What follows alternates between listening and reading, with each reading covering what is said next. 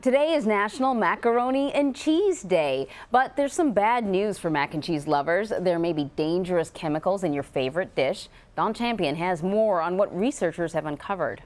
The report, funded by four advocacy groups, says common chemicals known as phthalates are found in some macaroni and cheese and other cheese products. The findings are not surprising or inconsistent with, uh, unfortunately, increasing literature that has documented uh, phthalates easily getting into and staying in uh, especially dairy products. Phthalates are chemicals used to make plastics soft and can get into food during packaging and processing. They can disrupt the hormones in the body and could affect the developing brains of children.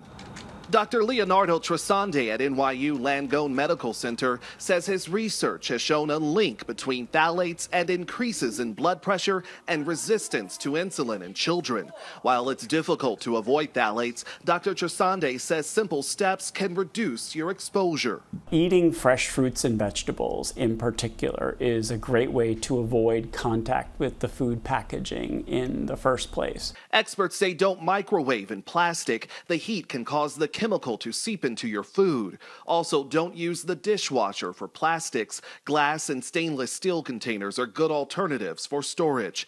And if a plastic container is scratched or damaged, it's best to toss it. Don Champion, CBS News, Dallas.